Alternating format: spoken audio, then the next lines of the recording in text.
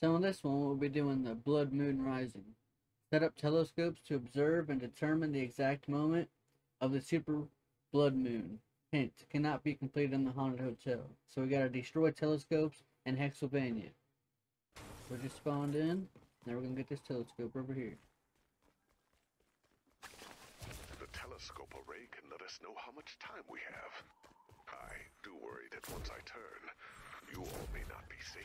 If you guys are watching these videos and enjoying them, comment down below how long you guys been playing Save the World.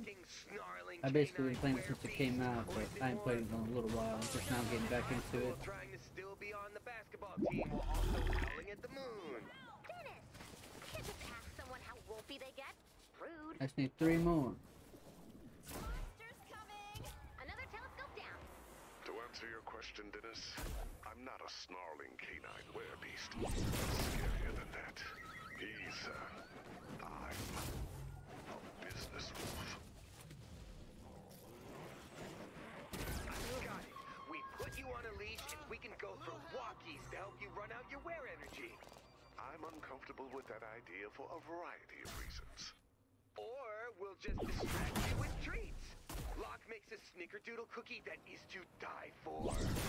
Business wolf does not want snickerdoodles, Dennis. If these videos get enough Business support, maybe we'll do a, a skin giveaway. Or whatever skin uh, somebody's interested in at the time. So if you guys do want that, please like the video and share it so I know that's what uh, you're gonna want in the future. Business wolf is more than just teeth and claws. He's worse. Unearned confidence. I'm just a normal director, maintaining operations of home base and trying to keep everyone on track. But he's thirsty for the blood of industry. He won't be satisfied unless he's optimized and strategized home base until there is nothing left.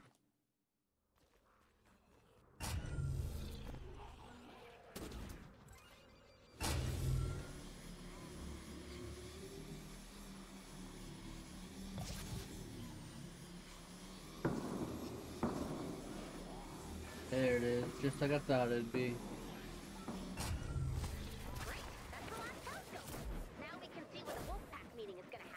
So now we have our five telescopes complete. Now we're just gonna finish up the mission and get on with the next one. If y'all are enjoying these, please consider liking and subscribing for future videos like this. Comment down below whatever videos you want to see next. Also, if you want a skin giveaway in the future. Thank you.